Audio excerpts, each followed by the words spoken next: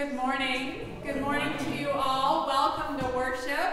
Uh, it is the 8th, the 20th Sunday after Pentecost, uh, October 10th. You see the timeline up there. We are working through a narrative lectionary where we go through the stories of the Bible. You see the burning bush from last week uh, on the left, and, and that was about 1290 BC and uh, and then um, and then they are in the wilderness for 40 years. Or we're just at the beginning of their wilderness time in our story today. So you you it's not a perfect timeline.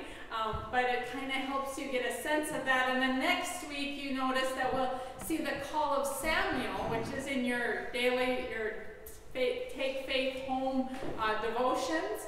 Uh, and that is at around 1050 BC, uh, about uh, 200 years later.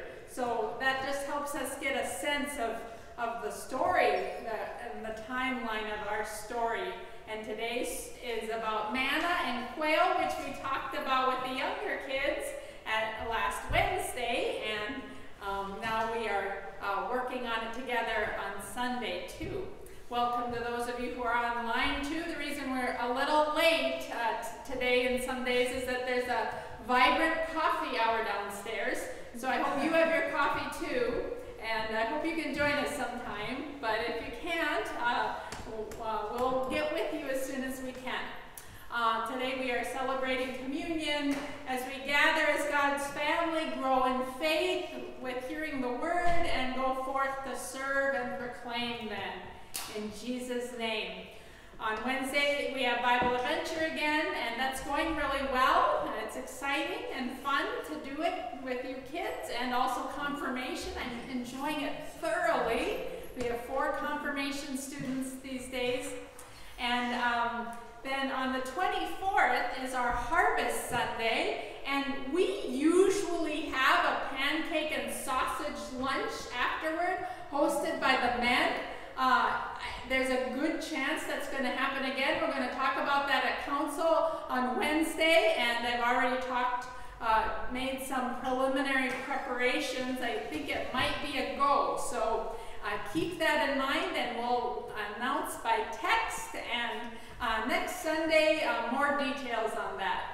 Uh, we bring our special offering, harvest offering. It's like a fall appeal. It helps us end the year well and give thanks to God for our blessings. And uh, the Sundays leading up to it, we're often thinking about, well, how do we manage these blessings? It's called stewardship. And I'm going to talk a little bit more about uh, that today and the trust in God that we are called to in that. Um, uh, we also have confirmation coming up, but we did need to post push it back a week, so now that will be confirmation Sunday will be November 7th. Change that if you need to. November 7th for Boston, Riley, and Michael uh, as they affirm their baptism. And you may be wondering about uh, Lily Newmiller, who passed away a week ago or so. Um, I had her committal service by Zoom on uh, Friday, uh, but there is going to be a memorial service here, probably on a Saturday. Uh, and we don't have a date for that yet, but I will let you know when we do. And then you can come here and participate with them uh, with the words and, and via Zoom and live stream. It will be on our YouTube channel also. Um, amazing to have technology like that. Uh, they will stay in Spokane, and uh, that way we can be with them somehow still. Um, that's all the announcements I have. Uh, any others? Well, welcome again to worship. And uh, remember these folks in our prayers, as well as others that we will name during the prayer time our missionaries and uh, those who are dealing with COVID these days and cancer. There's so many. So let us turn to worship now. Our opening hymn is um, O Worship the King and it is number 842.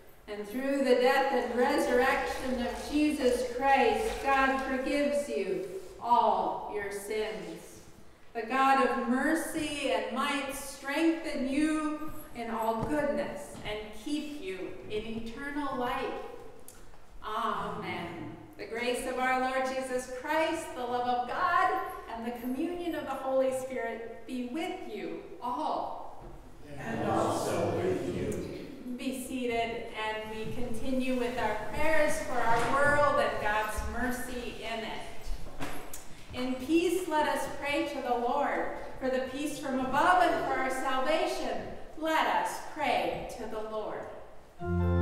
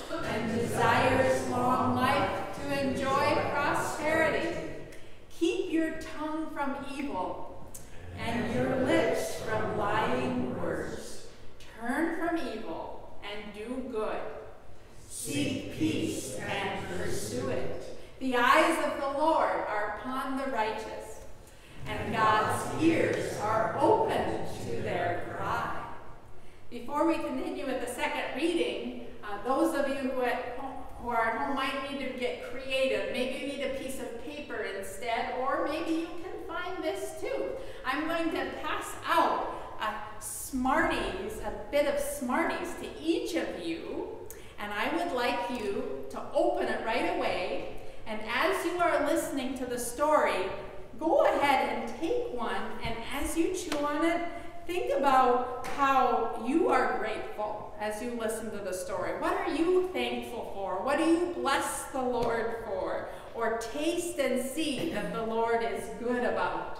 So I'm going to do that quick. Those of you who are home, maybe you can find M&Ms or Smarties to also do this. Uh, make sure that you are, we'll make this an exercise, thinking with each Smartie, uh, but also enjoy them because they are tasty. When we were little, when our kids were little, we had a Smartie party, and part of the fun of that was uh, savoring each one together. So today we are having a Smartie party together as God's family, and uh, and take a moment to bless the Lord for the things that you are truly thankful for. There you go. This is kind of like the children's sermon, but I am going to invite you up too, girls. So um, I invite our reader forward, and uh, she will be the narrator, and I will uh, say the dialogue that is uh, the Lord's words.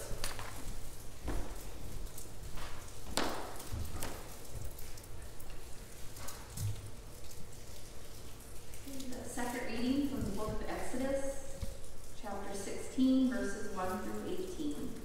The whole congregation of the Israelites set out from Elim, and Israel came to the wilderness of Sin, which is between Elim and Sinai, on the fifteenth day of the month of the second month after they had departed from the land of Egypt. The whole congregation of the Israelites complained against Moses and Aaron in the wilderness. The Israelites said to them, only we had died by the hand of the Lord in the land of Egypt, when we sat by the flesh pots and ate our fill of bread. For you have brought us out into this wilderness to kill this whole assembly with hunger. Then the Lord said to Moses, I am going to rain bread from heaven for you, and each day the people shall go out and gather enough for that day. In that way I will test them whether they will follow my instruction or not. On the sixth day, when they prepare what they bring in, it will be twice as much as they gather on other days. So Moses, Moses and Aaron said to all the Israelites, In the evening you shall know that it was the Lord who brought you out of the land of Egypt. And in the morning you shall see the glory of the Lord, because he has heard your complaining against the Lord. For what are we that you complain against us? And Moses said, When the Lord gives you meat to eat in the evening, and you fill your fill of bread in the morning, because the Lord has heard the complaining that you utter against him. What are we? Your complaining is not against us, but against the Lord. Then Moses said to Aaron, Say to the whole congregation of the Israelites, Draw near to the Lord, for he has heard your complaining. And as Aaron spoke to the whole congregation of the Israelites, they looked toward the wilderness, and the glory of the Lord appeared in the cloud. The Lord spoke to Moses and said, I have heard the complaining of the Israelites. Say to them, At twilight you shall eat meat, and in the morning you shall have your fill of bread. Then you shall know that I am the Lord your God. In the evening, quails came up and covered the camp, and in the morning there was a layer of dew around the camp. When the layer of dew lifted, there on the surface of the wilderness was a fine, flaky substance, as fine as frost on the ground. When the Israelites saw it, they said to one another, What is it? For they did not know what it was. Moses said to them, It is the bread that the Lord has given you to eat. This is what the Lord has commanded. Gather as much of it as you as of you needs, an omer to a person, according to the number of persons, all providing for those in their own tents. The Israelites did so, some gathering more, some less. But when they measured it with an omer, those who gathered much had nothing over, and those who gathered little had no shortage. They gathered as much as each of them needed. Word of God, word of life, and we respond. Thanks be to God. You. I'd like to invite the kids to come up and bring, if you have any Smarties left over, go ahead and bring them too. I have mine here.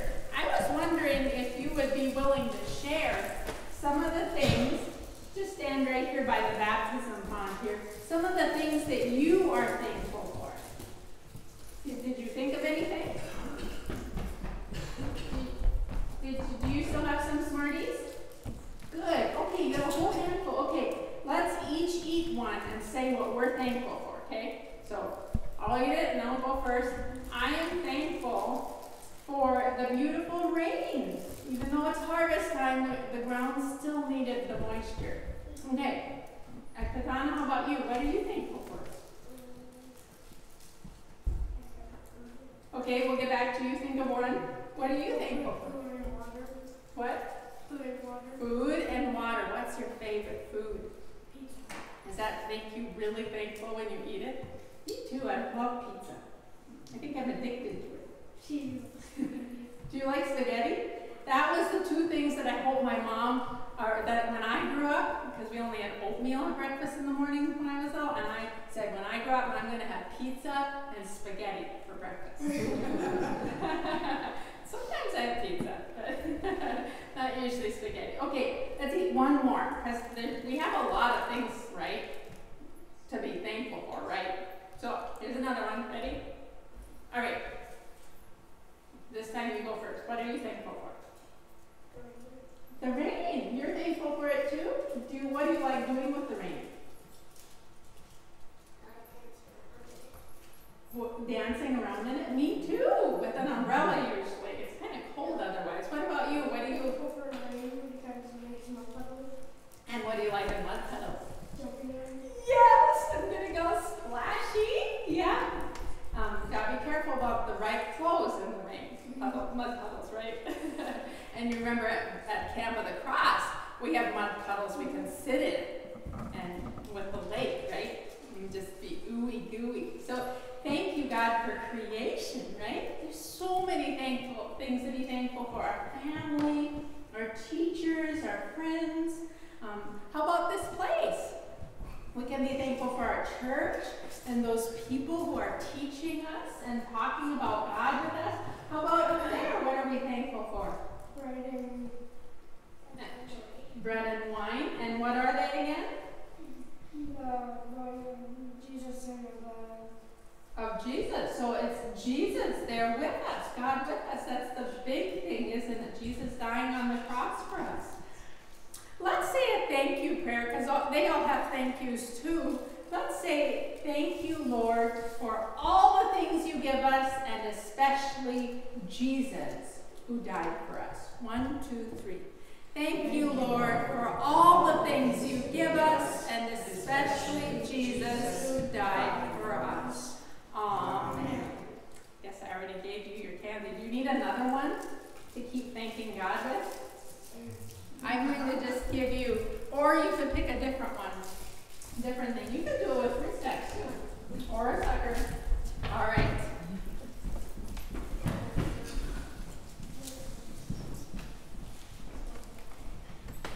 Grace to you and peace from God our Father and the Lord Jesus Christ. Amen. I'm going to dwell on this a little bit more. Those of you who are at home, if you would like to send a little uh, note in the chat about things you would like to thank for, go ahead. I would like just a couple more, a few more people to tell me of the things that they have been thinking about as they chewed on the sweet goodness of Smarties. What, what are you thankful for today? Travel, Travel, because because you get to see family maybe. It's exciting. Safe travel, too. All right, others? Michael Crowder rescuing adult Sunday school. Uh-huh. Aha! The little technological assistance. Okay, thank you. Other things we're thanking for? Oh, way back there? Life. Yeah. Don't take that for granted these days. Others, Home to live in. a home to live in, one that's not leaking today. Heat. It was a little chilly this morning. I turned on the oven. Others. Little snuggly kittens to keep us warm. Okay, that just warms a heart too, doesn't it? If you like cats, yeah. and who can't? Uh, what what else? Friendship. Friendship. That's that's definitely a deep thing that helps us in life. Others. Are we getting any chat responses? Can you say a couple of them? Uh, Diane Nelson that says that she's thankful for the almonds and bananas in her pancakes. Oh, I love it. Thank you, Diane. others? Do you, are there any others? Okay, all right. Yeah, well, you know, there are things great and small that we thank for. There are the surface things, the things that we just see or sense or taste that make us thankful right away. There are other more uh, deep rooted things, things that we can't even put our finger on that really make our life better, more wonderful. Um, there are things maybe that we wouldn't choose for ourselves at first, but then it turns out to be a blessing by God in some way, or God turns it to good uh, that we thank for. There are all kinds of things. There are some things we thank God for that others aren't so happy about. Uh, sometimes rain is like that, where one person needs it to be drier and the other really needs water for their garden or crop.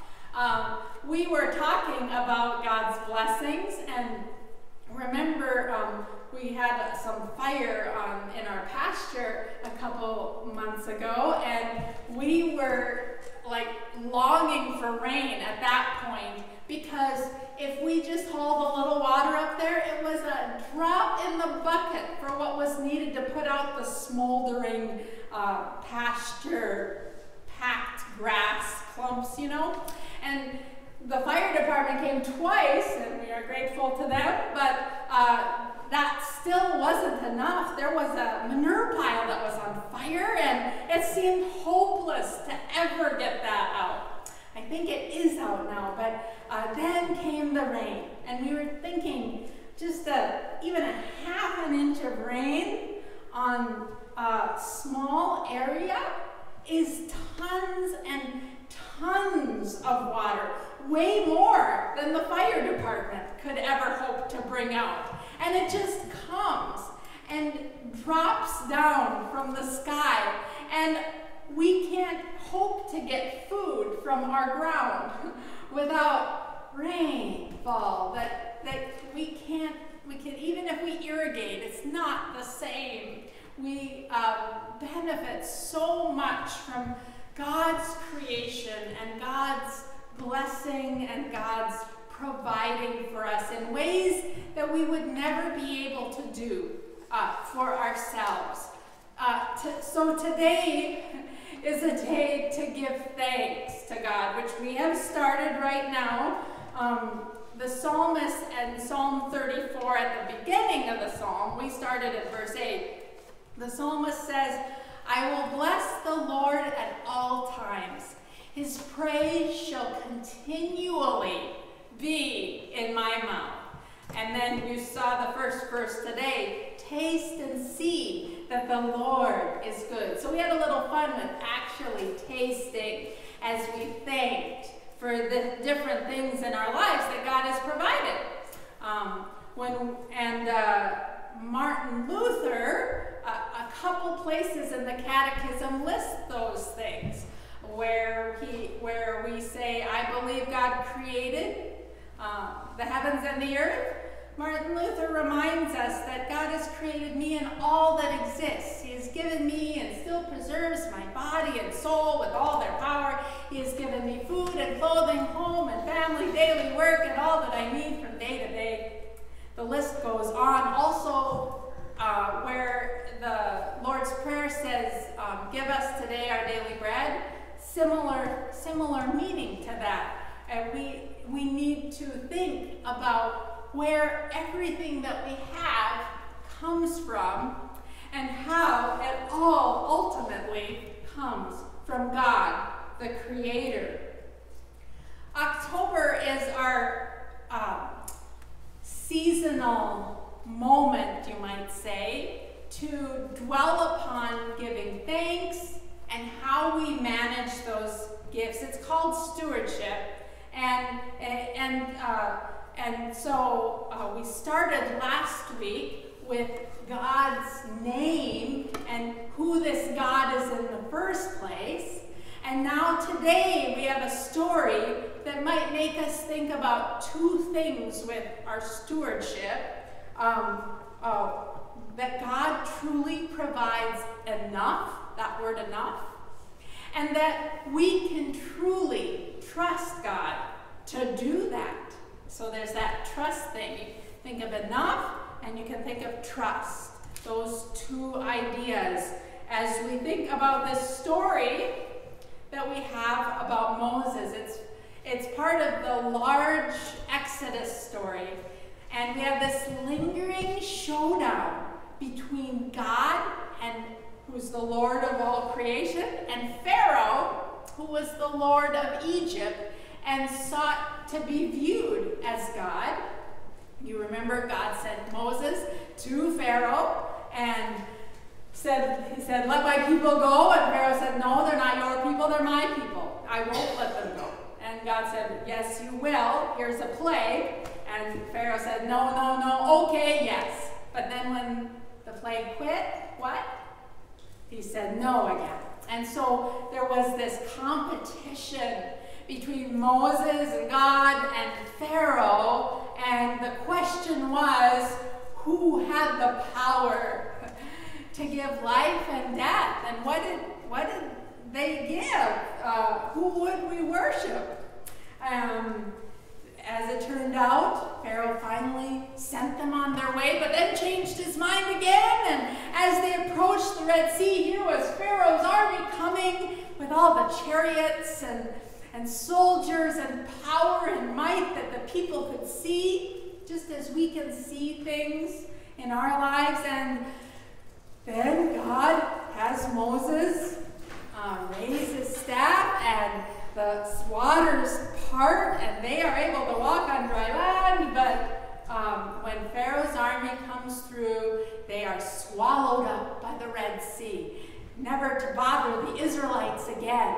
And so the Israelites celebrate and uh, sing to the Lord. Um, they say, The horse and rider was thrown into the sea. I will sing unto the Lord. But shortly after that, they're hungry. And that's where I say the showdown kind of keeps on because the question is who's going to feed us now?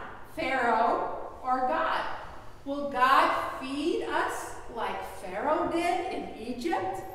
They were hungry and they weren't sure they had made the right decision about who would who they should go with. Um, so that's where God says, at, at their complaining, God says to Moses and Aaron to let them know that God would send food. It's like, what will help these people trust in me? Uh, I already opened the Red Sea for them and set them free from Egypt. Hmm, what if I just make it rain food? You know, not just water, but food. What if food just comes out of heaven? Will they trust me then? Would you? Did they? They looked at it and said, What is it? and that's where we got the name. Manna means that, right? What, what is it? Uh, it was God's bread on the ground like this flaky white substance. And in the morning, you gather just enough for your family the people in your family. You didn't gather less, you didn't gather more, and you had enough. But if you tried to gather more, it would get um, wormy and gross and moldy and yucky. and uh, so that was the instruction, except the day before the day of rest, the Sabbath, then you could take enough for two days and it wouldn't get wormy. And that was the miracle of the Sabbath, that you would have enough even so. And so uh, it happened. They saw the flakes on the ground. They gathered it in the evening. They, these birds just came out of nowhere and uh, they could catch them and enjoy a little meat. And um, for 40 years, God sustained the people this way. Uh, quail in the evening, manna in the morning, God's abundance in the wilderness, uh, a God forsaken desert, and yet not so God forsaken anymore. And God's economy is sufficient or enough. It's not too much, uh, it's not too little. Uh, and um, so, did, did the Israelites believe or trust? Not really. They aren't actually the best examples of stewardship and trust in God. Uh, we could have gotten a lot better scripture passage for today, I imagine. We could have gone over to uh, First Kings, is it, where a widow feeds this random prophet Elijah all during a famine, and the, she trusts in God's word that the bread and the oil, or the flour and the oil, won't give out, and they don't. So there was a faithful widow we could follow. Uh, there were also three men who were threatened to be thrown into a fiery furnace. The king wanted to make them worship another god that he had set up, and they said, we don't know if God will choose to save us from your furnace, but whether he does or not, we're not going to worship any other God. And sure enough, in the middle of the fire, there is an angel as someone that looks like God walking with them. uh, so, and then you have, of course, like in the New Testament, the example of young Mary, who says, let it be so according to your word, even though she would uh, endure uh, much uh, talking by the gossips and maybe even persecution for looking like she had had a baby out of wedlock. And, and here she just goes with what the angel asks of her. So there are moments of faith in Scripture, but the Israelites aren't one of them. Their faith stinks. It has worms, like the manna they try to save. And I ask you, what about us? Does our faith shine or stink? a lot of times it stinks, it is wormy, just like them. Our faith mechanism is not quite right. It's skewed or broken or damaged or whatever you say sin is, and, and we need something outside of ourselves to make it right. God says, What will help my people here? Trust in me. Huh? uh, so God says, Maybe I will send some bread from heaven and it will be the bread of life. When they partake of this one, they will never die, but they will live. In Jesus Christ, come down to us. We have the bread of heaven in Christ our Lord. And as we talked about here uh, with the girls, uh, the body of Christ and the blood of Christ, here we have the gift of God right in our hands. Uh, and we call it a means of grace because as we receive a gift, whenever we receive the gift, it reminds us of God's goodness. And those words, taste and see, they apply more to that than Smarties. They, apply, they have to do with the gift of Christ Himself. And as we bite on the bread and partake of the wine, we taste that Jesus is really with us and that Jesus died for us and gave himself for us. There is enough grace in that little piece of bread and that tiny cup of wine. God's abundant grace. Not too much, not too little, 100% of Jesus for you. So that as we receive it, we are reminded of all the other gifts we are given by that same God and how we might use them to make enough grace for others. As we come together, we just need to keep hearing the message about God's faithfulness, and then we go out and share it with the others around us. Um, it's like practice today. You are here to practice stewardship, practice thanking so that you can thank all day, all week. Practice trusting as you receive the bread and wine from your good God so that you can go trust one another, trust God all week, trust in God's faithfulness for you, that God will give you enough, enough for all, enough presence, that your wilderness will not be God forsaken, but God filled with good things to taste and grace to eat. And us, then we can trust God.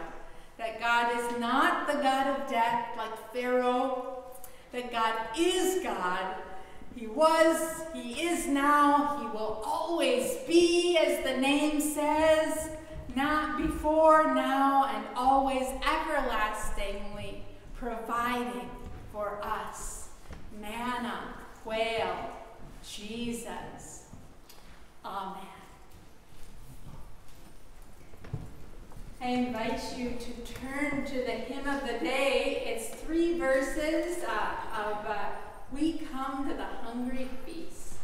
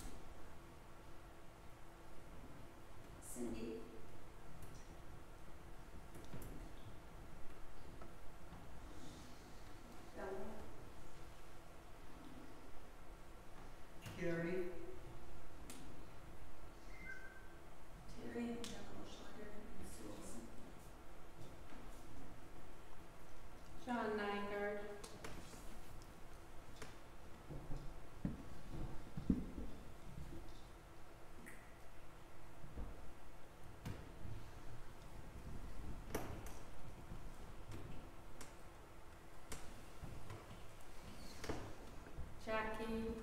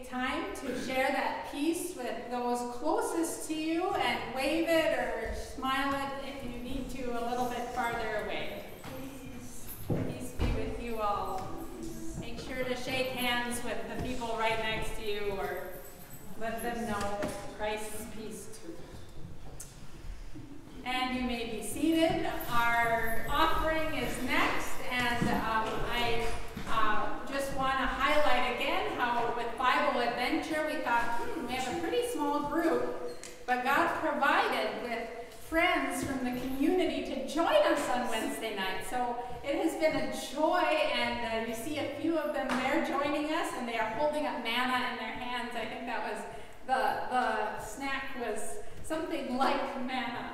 so, um, and I invite our ushers forward to give to ministries such as these.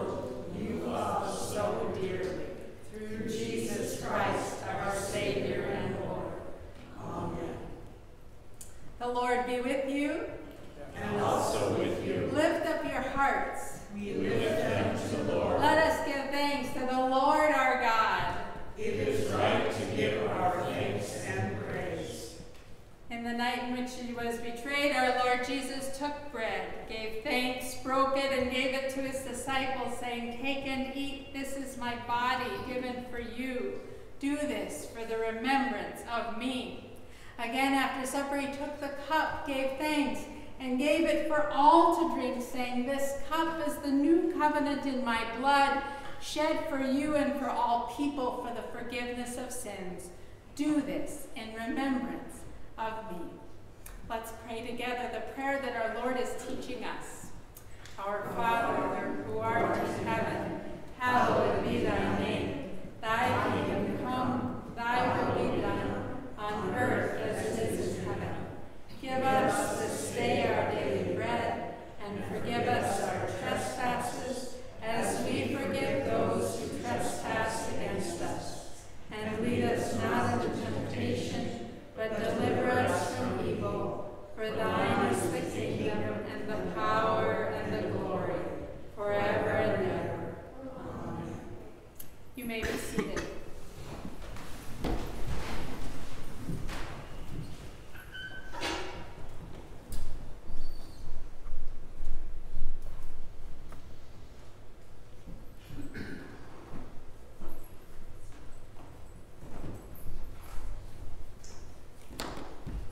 Lord's table. All are invited. The feast is ready. Taste and see that the Lord is good. We'll begin over here